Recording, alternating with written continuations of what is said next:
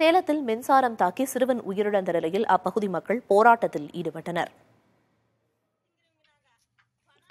சேலம் மாவட்டம் ஓமலூர் அருகே மின்சாரம் தாக்கி பள்ளி சிறுவன் உயிரிழந்த நிலையில் கிராம மக்கள் சாலை மறியலில் ஈடுபட்டனர். மல்ல கவுண்டனூரில் தெருவில் உள்ள குடிநீர் தொட்டிக்கு மின்கம்பம் அருகே மின் இணைப்பு வழங்கப்பட்டிருக்கிறது. குழந்தைகளை எட்டி தொட்டிவிடும் உயரத்தில் பாதுகாப்பற்ற நிலையில் மின்சார கம்பிகள் இருந்துள்ளன.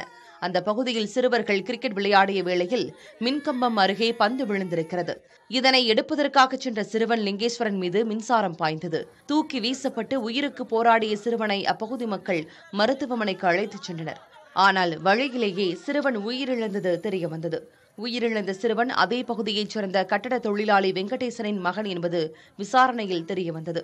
ஊராட்சி நிர்வாகம் மின் வாரியத்தின் அலட்சியத்தாலேயே சிறுவனின் உயிர் பறிபோகியுள்ளதாக கூறி கிராம மக்கள் மறியலில் ஈடுபட்டனர். இதனால் சுமார் மூன்று மணி நேரத்திற்கு மேலாக முத்துநாயக்கன்பட்டி பிரதான சாலையில் போக்குவரத்தில் பாதிப்பு ஏற்பட்டது. சம்பந்தப்பட்டவர்கள் மீது நடவடிக்கை எடுப்பதாக ஓமலர் துணை காவல் கண்காணிப்பாளர் வட்டாட்சியர் உறுதியளித்ததை அடுத்து மறியலை கிராம மக்கள் கைவிட்டனர்.